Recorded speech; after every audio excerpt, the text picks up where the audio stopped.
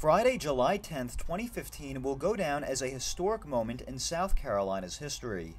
The flag that was a symbol of controversy to many was taken down and folded up by state troopers, never to be seen again at the State House.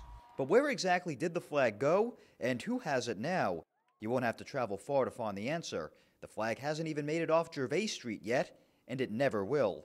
That's because the flag's new home at the South Carolina Confederate Relic Room and Military Museum is less than a mile away from where it once flew. But if you were to ask museum director Allen Roberson to see the flag now, he would tell you. No, we're not.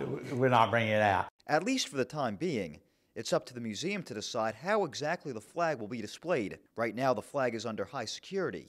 It was locked up in our artifact storage area, which is secure, under alarm, climate controlled, and an acid free box and there it has stayed. Has not moved from there since then. In fact, the flag has spent more time under the museum's watch than it did flying in front of the State House. There have actually been multiple flags that have flown in front of the building since 1962, but have been replaced due to weathering and other factors. Nearly three months ago, a woman climbed up at the Confederate flagpole to remove the flag.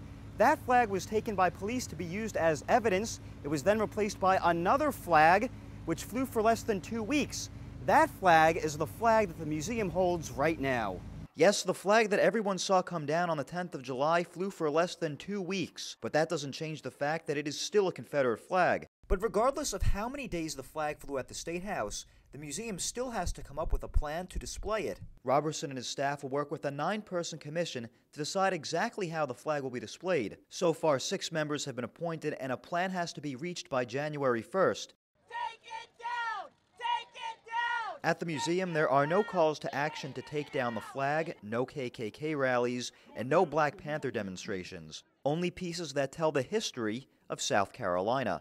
And with patience, a new piece will officially be added, safe and protected, where it will remain forever and find its place in history. Jeremy Urso, Carolina News.